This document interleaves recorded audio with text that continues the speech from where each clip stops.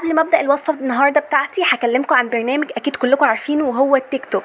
بس في منكم كتير ما يعرفوش التيك توك وما يعرفوش ان هو بيدي الفترة دي فلوس وحلوة جدا.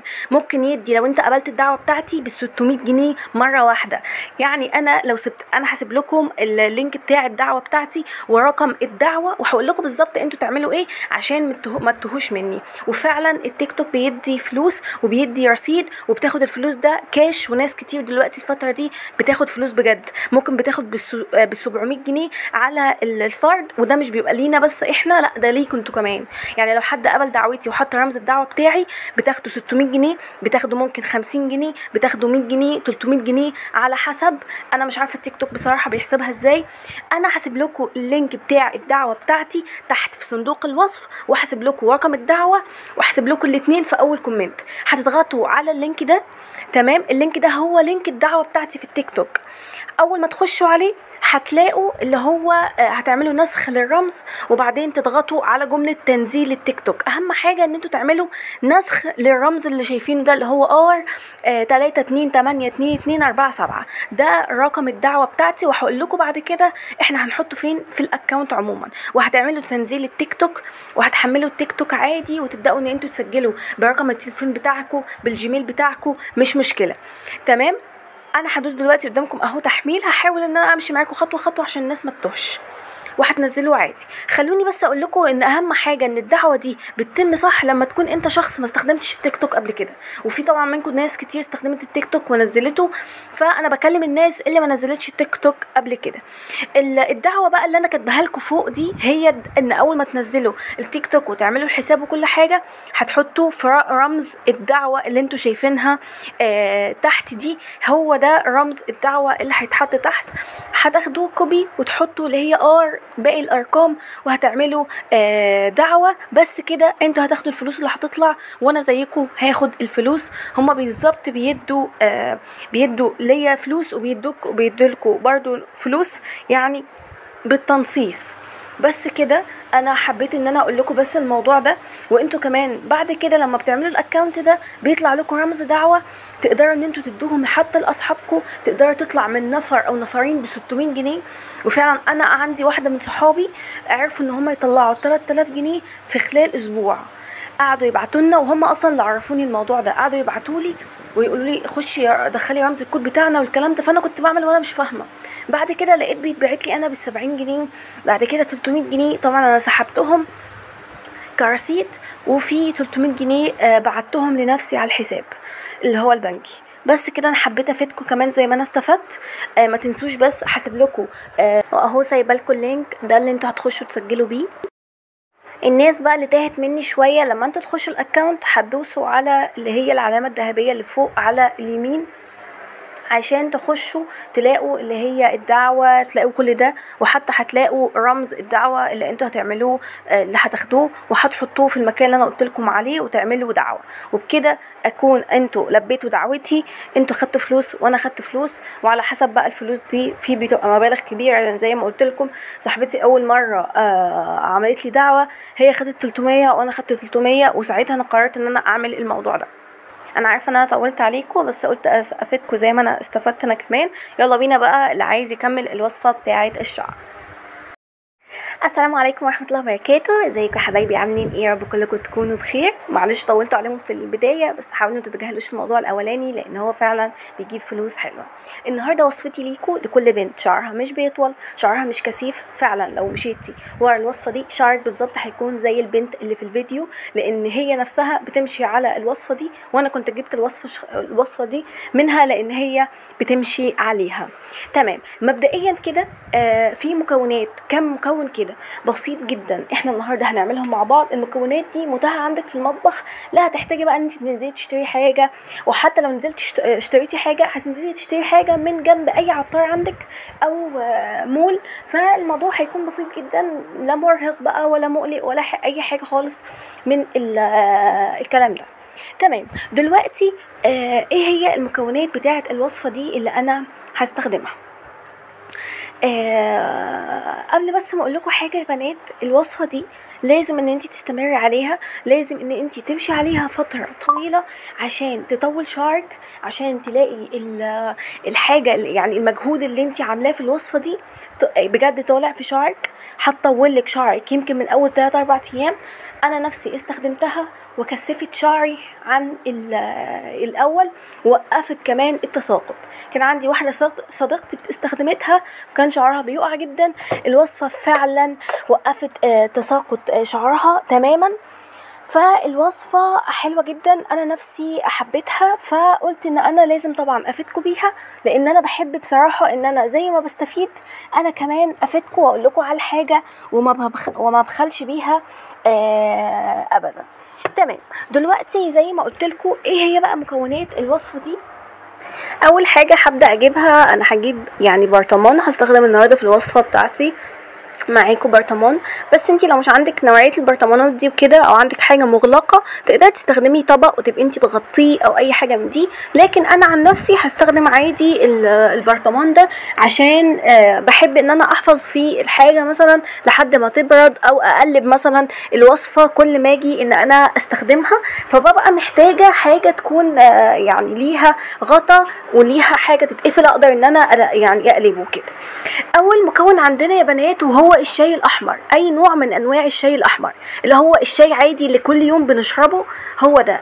تقدري بقى إن انت تستخدمي أي نوع من أنواع الشاي. في بقى إيه يعني عندنا مثلا في مصر عندنا شاي العروسة شاي الجوهرة انت تقدر ممكن شاي ليبتون تفضي اللي هي العبوات اللي فيه وتستخدميه. في شاي ليبتون اللي هو الفارت ده.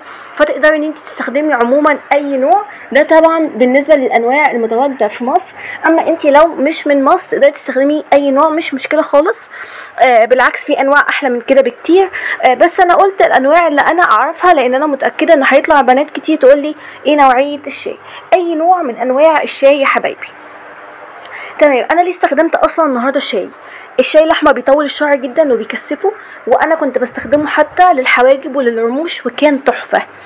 بالنسبة بقى للمكون التاني فالمكون التاني هو حبة البركة أو السانوج. إحنا في مصر عندنا بنقول عليه حبة البركة. حبة البركة فيها كمية زيوت حلوة جدا جدا في تكثيف الشعر وفي تطويله آه وبيعمل كمان على إن هو يعني يعني يحفز الشعر على النمو. فبصراحة أنا عن نفسي بحبه جدا وبحب أستخدمه على طول آه في وصفات الشعر. لو أنتم متابعيني ونزلت كذا وصفة قبل كده ليها علاقة بالسانوج وكانت بصراحة حلوة جدا. طبعا أنتوا شايفين الكمية اللي أنا بحطها مش محتاج إن أنا أقول لكم الكمية لكن أنا بستعمل عموما معلقة آه، صغيرة وبحط بيها كل كل المكونات بتاعة الوصفة بتاعتي النهارده.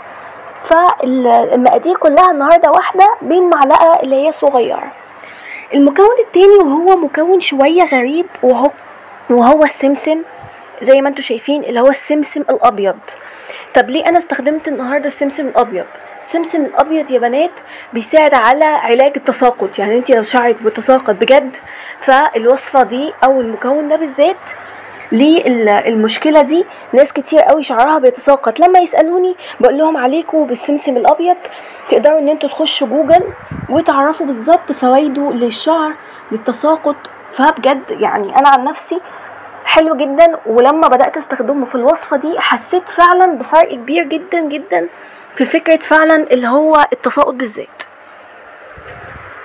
في بقى مكون تاني أنا برضو بحب أستعمله وعلى طول بستعمله ولأن أنا بحب كمان أستخدمه كنوع من أنواع آه، التعطير للشعر ده غير إن هو نينجا في التطويل بصراحة وهو القرنفل أو المسمار. تمام؟ حطيت برضو معلقة منه. هو حلو جدا كمان في تكثيف ال- الشعر. أنا النهارده مستخدمة لكم بجد مجموعة مكونات قويه جدا جدا في الحفاظ على نمو الشعر في تقوية الشعر بجد فحلوة جدا والوصفة نفسها قوية. أنت لا هتتعبي لا هتحسي ب يعني لا هتحسي كده إن شعرك فعلا محتاج وصفة تانية جنب الوصفة دي. فبصراحة هي هتفيدك جدا جدا. تمام في مكون دلوقتي واحد هو بس اللي فاضل تقدري انت تستخدميه أو لأ؟ أنا عن نفسي بحبه جدا وهو الكركديه. إيه هو الكركديه؟ الكركديه ليه مسميات تانية في بلدان تانية لكن الحقيقة ما اكدبش عليكم أنا ما أعرفهاش بس إحنا عندنا هنا في مصر بنقول عليها الكركديه اللي هو المكون الأحمر اللي ممكن نحطه على الحنة آه، ممكن تحطيه آه، فبصراحه في ناس كتير جدا ما تعرفش المك... يعني ما تعرفش فايدته للشعر بس هو فايدته عظيمة جدا جدا للشعر وأنا عن نفسي آه بحب إن أنا أستخدمه حطيت بس كام واحدة يعني ثلاثة أربعة من الكركديه.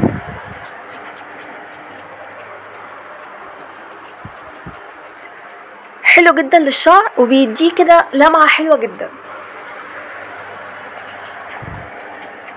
انت عايزة تحطيه براحتك مش عايزة تحطيه برضو براحتك. هو عموما حاجة كده يعني أنا بحب أحطها إضافة يعني. بس طبعا بيطول الشعر برضه بيحفز على التطويل ويعني حلو جدا. يعني مش مجرد مكون كده وخلاص إحنا هنحطه زيادة. بعد كده بنزل على المكونات دي كلها بمية سخنة.